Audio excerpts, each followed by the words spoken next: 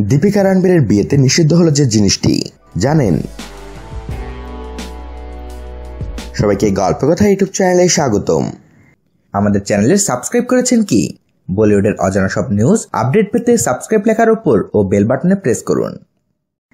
রানবীর, দীপিকার বিয়ের গল্পে মশগুল বলিউড। এখনও প্রকাশে তাদের কেউই মুখ খোলেননি বটে। তাতে কি? বিরাট অনুষ্কার ইতালিতে বিয়ের পর এখন এই বিয়ে সবার চর্চা। জল্পনা, কোথায় বিয়ে করছেন তারা? নভেম্বরের বিশ তারিখে তাদের বিয়ের দিন স্থির হয়েছে। বিয়ের অনুষ্ঠান ছোট এবং পারিবারিক লোকজনের মধ্যেই সীমিত থাকবে বলে খবর। থাকবেন ঘনিষ্ঠ কিছু বন্ধু বান্ধবী রণবীর দীপিকা তাদের অতিথিদের জন্য কড়া নির্দেশ দিচ্ছেন। কোনো মতেই বিয়ের অনুষ্ঠানে মোবাইল ফোন আনা চলবে না। পরে দুজনেই তাদের ছবি প্রকাশ করবেন। বিয়ের অনুষ্ঠানের গোপনীয়তা বজায় রাখতে চান তারা। বিরাট আনুষ্কার পর বলতে গেলে বিয়ের হিরিক পড়ে যায় বলিউডে। সোনম কাপুর, আনন্দ আহুজা নেহা দুপিয়া অঙ্গদ বেদির চুপচাপ বিয়ে হয়ে গেছে।